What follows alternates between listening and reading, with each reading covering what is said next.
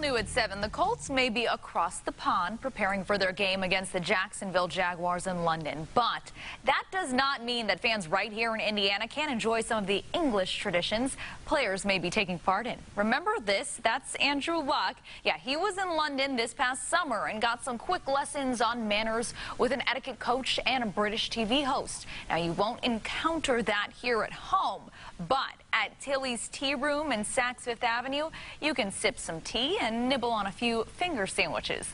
The traditional fare will be what you'll find for afternoon tea if you are in England.